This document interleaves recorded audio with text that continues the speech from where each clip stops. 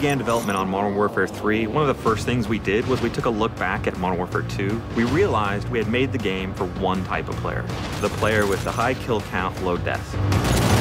And that was really the only type of player that was getting rewarded. So what we wanted to do was offer the same kind of reward system for every type of player.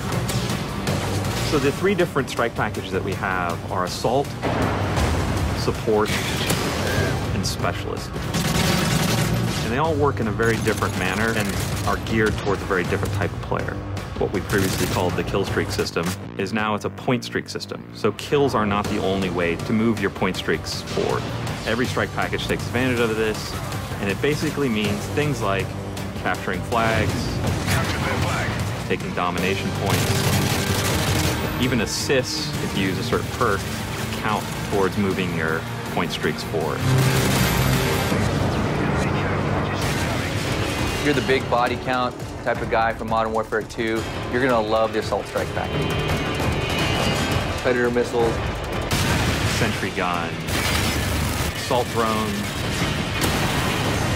If you're a team-focused individual, the Support Strike package is for you. So the Support package works significantly different than the Assault package. The main difference that you'll notice right away is that your streaks don't reset on death. So I can get a kill. Capture the flag. Capture an HQ. It all moves it up. When I die, it doesn't reset. Now, the kill streaks that I unlock are definitely of a different order than they are in the Assault Strike package. They're more support-oriented.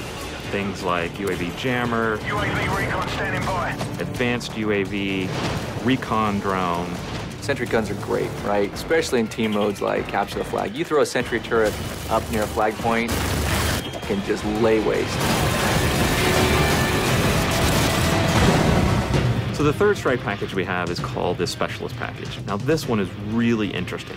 So you start your character with three perks, and you get your first two kills, you'll unlock a fourth perk. Two more kills, you unlock a fifth perk. You unlock new perks every two kills. So at eight kills, you have every perk in the game. When we were designing this, it felt like a fighting game where you have that little bar at the bottom corner that sort of fills up as you get hits and you use it and become more powerful. The thing you'll find when you start unlocking these perks is that you become superpowered as a soldier and not relying on an AI helicopter or whatever to get kills. Your character basically becomes the super weapon. It's more balanced than it's ever been before, more focus on you as an individual player and your style of individual play. So it's something for everyone based off of your gameplay style, really tailored to how you like to play multiplayer.